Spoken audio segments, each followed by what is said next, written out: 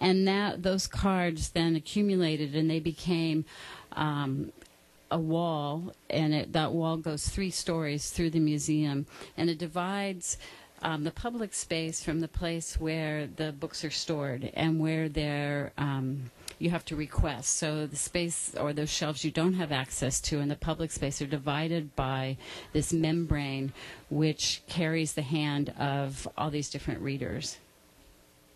Okay, and then in um, more recently in Seattle the um, there's a, a, new library that was built by Rem Koolhaas.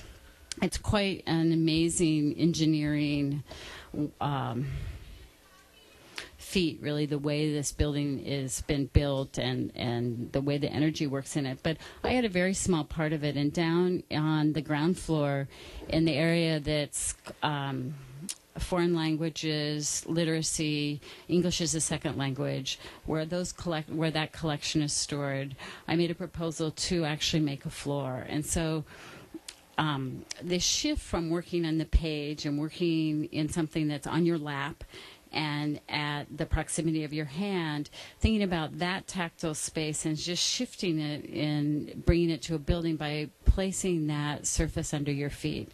And so what I did was uh, work with, actually, I worked with a lot of the graduate students here at OSU who were studying in different, um, and whose first language, uh, we had, let's see, whose first language was not English and I asked them to um, look at the collection in Seattle, find the companion volumes here.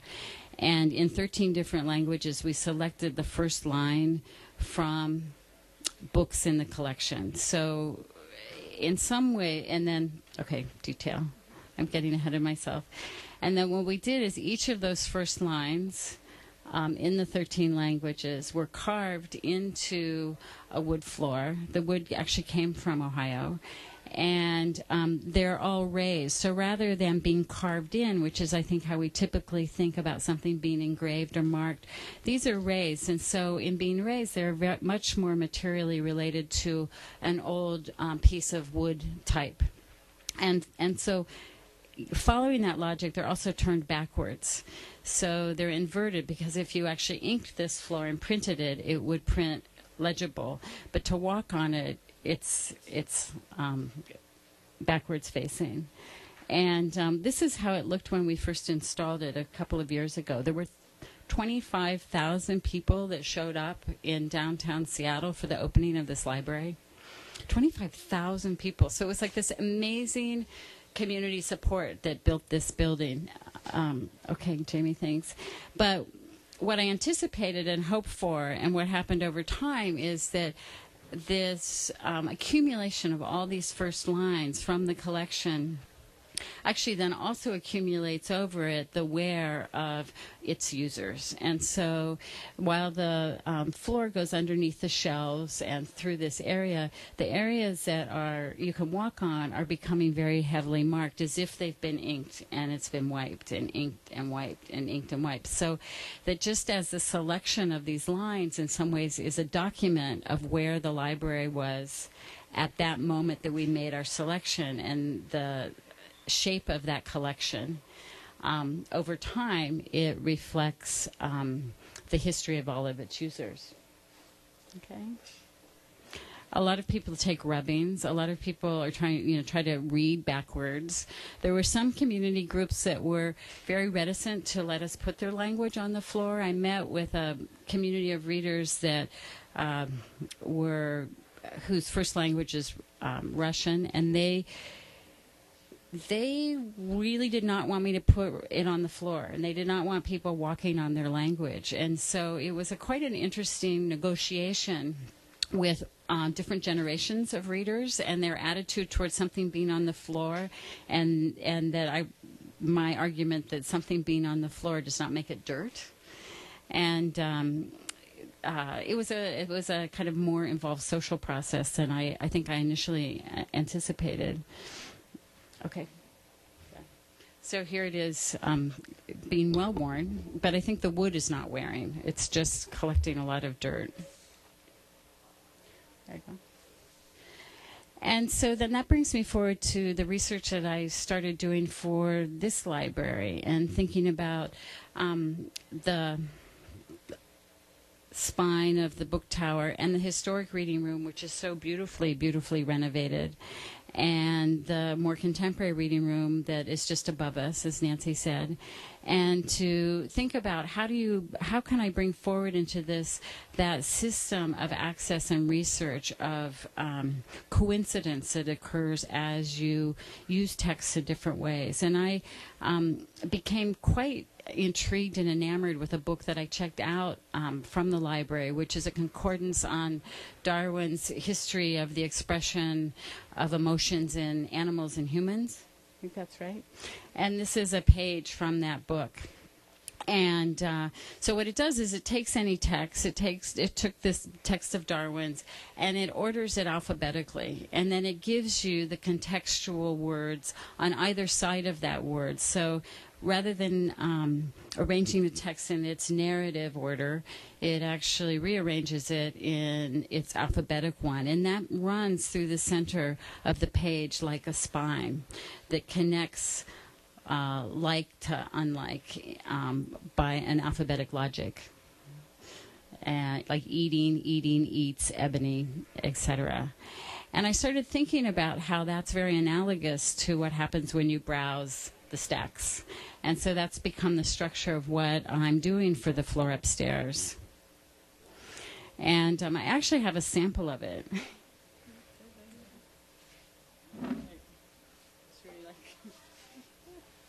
this is the tactile part.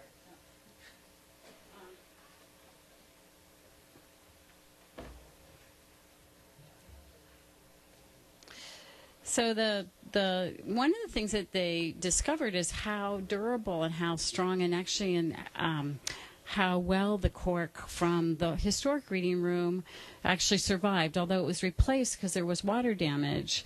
Um, that old cork floor is um, not only a sustainable material, but really, really durable. And like wood, it actually starts to, it ages really well. It starts to carry the imprint and the history of all of the foots that have walked, the feet that have walked on it. So um, what I did was work um, in conversation with George Acock and the committee to think about how does that cork floor that's in the historic reading room come over and be mirrored but used differently in the contemporary reading room that faces RPAC. And propose that what we do is um, run a concordance spine of alphabetic words down the center of the room and um, run to the edges of the room the contextual information around that um, word. So then I'm in a huge conundrum. So I have a form, I have a material, I have a system. You know, my system of looking at different texts is through this alphabetic search of the concordance. And at the studio, I'm here with Jamie Boyle. Jamie, hi. who we've uh, we um, and some others um, who aren't here, but we purchased a software program that allowed us a lot of flexibility in the way we could search Word documents alphabetically, and and find these kind of surprising um, relationships between things and for me, what was really interesting as a as an artist working with is the way that these searches. It's like the act of reading um, through the concordance pro- program in some ways becomes an act of writing or becomes a form of writing. And I think that as an artist, I've always been, although we I spend like many of you my so much of my day writing. I think I'm very nervous about my writing. I think that it's not my first hand. My first hand is more like a sewing hand. And so this way of kind of coming around through the side door to writing is through selecting and finding and juxtaposition has been interesting. Um, and one of the things that we proposed is that there would be a live, a series of live readings on and of the floor once it gets installed. So, towards that end, I wanted to um, talk about the conundrum of content and subject, which could keep us here for a long time. Um, and um, where what what I've now settled on as the material that I'm going to use.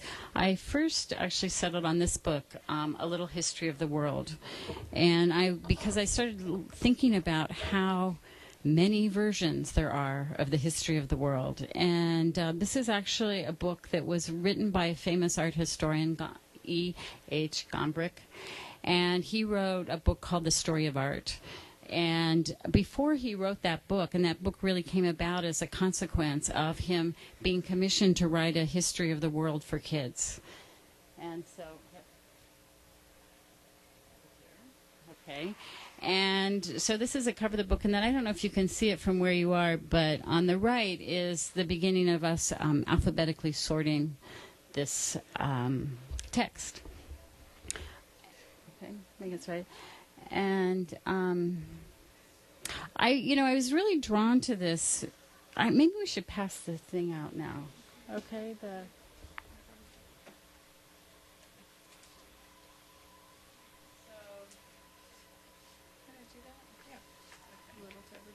Yeah. Let's see. How many are we? Maybe just distribute these. Okay. Okay. Not everyone doing this. Not, a, yeah. Mm-hmm. And um, so, you know, to take anyone, there's this pressure on this project because whatever I choose, whatever text I choose, I remember what how difficult it was when the library was going through the process of selecting each of the floor tiles that you see out in the main floor. And I remember talking to Wes Baumgarten about, oh my gosh, you know, like like it's going to be there forever. Um, and so I started thinking about how to use this story, which has the perspective and is written in 1935. Uh, it's pretty European in its perspective, and it's really written um, without the language is like and then this happened and then this happened and then this happened and it's sort of an accounting that accumulates and um, i actually read it to my son who's now 14 and we took utter delight in reading this book out loud. So I returned to it for this project. It was also recently republished. Um, and then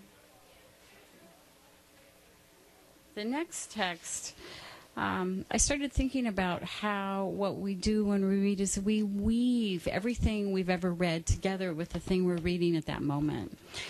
And so, how does this metaphor of weaving, of of something actually um, literally become? How does text become a textile? And so, I wanted to find another history of the world or an origin story. And um, I was attracted to one that was really very much about how the world is a is the story of the world is woven, and um, I adapted a story that's from the White White River Sioux. It's called The End of the World, and Jamie's actually passing out some versions of this. Um, and I I think I'll just read this one out loud just so you can hear it because it becomes these words actually become the spine text for the floor that we're doing upstairs. Um, somewhere in a place where the land and the mountains meet, there is a deep and hidden cave. People have searched for a long, long time, but no one has ever discovered its location. In the cave lives an old woman dressed in animal skin, whose face is dry and worn. For a thousand years or more, she has been sitting, the way our ancestors did, making a piece of cloth out of dyed porcupine quills for a buffalo robe. Resting beside her, watching, is a black dog. His eyes never wander from the old woman. He is her only companion. A few steps from where she sits burns a fire that began before memories were recorded.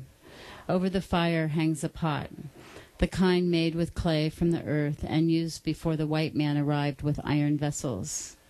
In it, the boiling food is good and sweet and red.